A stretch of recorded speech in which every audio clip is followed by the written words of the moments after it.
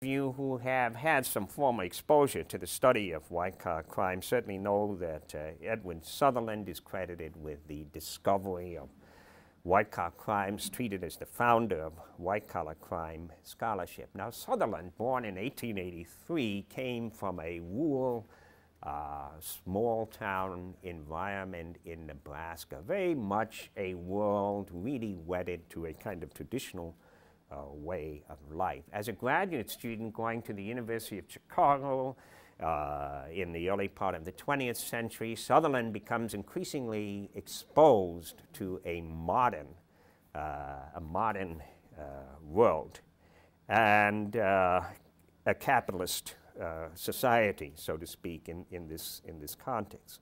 When he started to write about white-collar crime, particularly between 1939 and 1949, culminating in his famous book published shortly before his death in 19, 1950, uh, he really imposes in that book on the subject of white-collar crime very much of a, of a modern national framework. By that I mean that he treated white-collar crime in terms of the activities of modern industrial corporations and American, American uh, industrial corporations. There's virtually no reference to other countries, uh, for example. And my um, um, thesis here is that uh, as great as the contribution of Sutherland uh, is, that increasingly we need to understand white-collar crime in the context of a postmodern, uh, globalized uh, framework.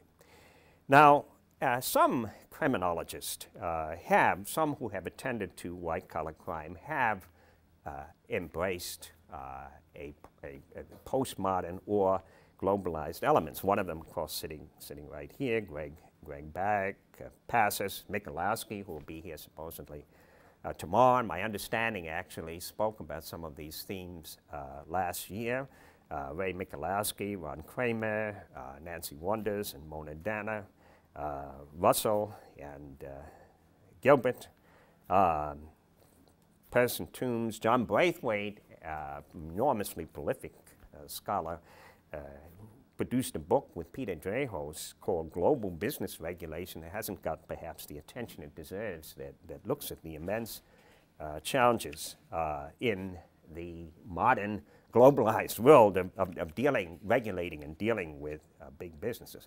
So there have been some criminologists who have indeed uh, incorporated, I, th I, think there's still very much of a minority, uh, but there are some. And some of the themes, some of the themes of their uh, literature are, uh, first, the role of transnational corporations and the difficulties of controlling them. Increasingly, we have transnational or multinational corporations, and the challenges of controlling them exceed those of traditional national uh, corporations. Secondly, the, the sources of criminogenic tendencies within globalization. Globalization promotes uh, various forms of, of corporate and transnational uh, crime. Uh, a third theme has been the impact of globalization on other forms of, of crime, not just corporate crime and, and, and white-collar crime.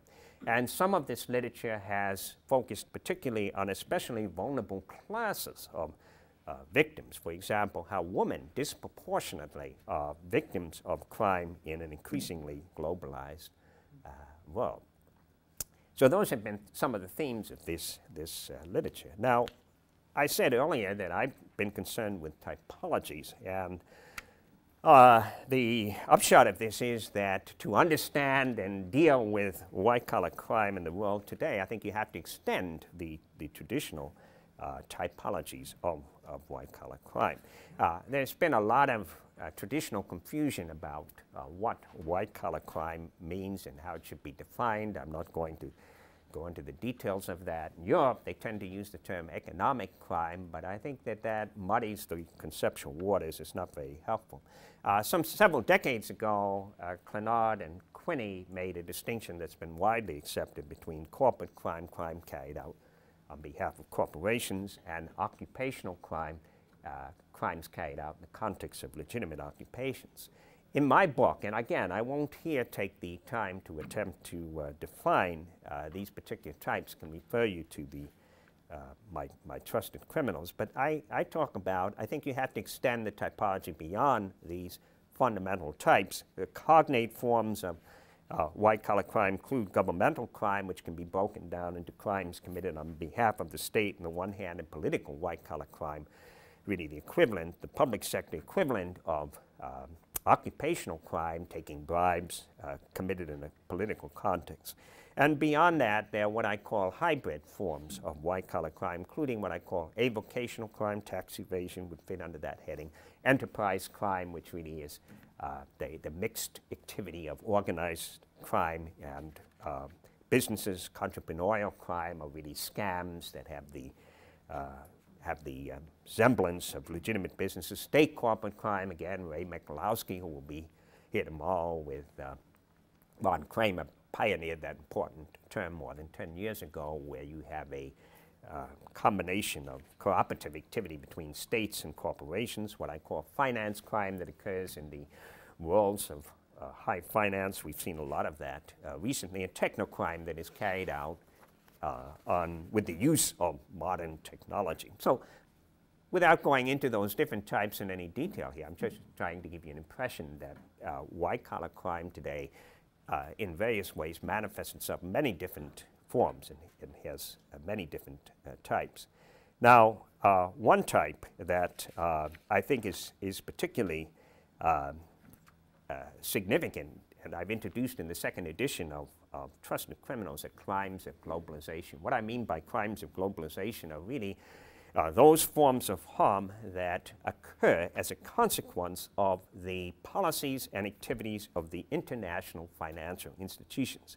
The international financial institutions were essentially established after World War uh, II at the Bretton Woods uh, Conference and include the World Bank, the International Monetary Fund, and the World uh, Trade Organization and they have uh, put forth uh, enormously influential but very controversial uh, policies. And I will speak a little more specifically about the consequences of those policies in a moment. But uh, the upshot here is that many of these policies have had profoundly uh, harmful consequences in uh, developing countries. So turning to uh, what white-collar crime means in a globalized world, as I said, globalization is one of the buzzwords of our era. It's all over the place, huge literature and so forth and so on. It's defined in many different ways, and we could be here for the rest of the afternoon if I tried to sort through all those uh, definitions. So for our purposes, I'm just going to uh, invoke a few salient dimensions of globalization. Um, and this is really just a very superficial outline under these circumstances. It has both new and enduring elements. Some aspects of globalization are very old, some are quite new. It has not just economic dimensions, but political and cultural dimensions. Uh, the role of transnationals uh, and uh, international financial institutions is very central in this new globalized world. And these transnational corporations and international financial institutions operate in profoundly non-democratic uh, manners. Uh, and that a central project of uh, globalization is the expansion of uh, global markets.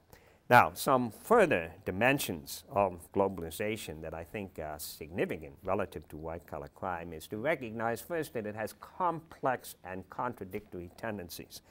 So, and, and what that really means is that I think a fair assessment says there are winners and there are losers. Um, the problem is that there are disproportionately uh, more losers, I think, today, and inequalities are expanding.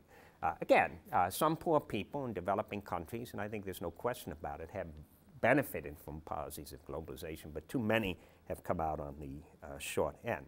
Certainly, a central attribute of globalization is intensified global interconnections and communications. I think that's really, that is something that is basically new. If I said earlier that not all aspects of globalization are new, that is indeed new.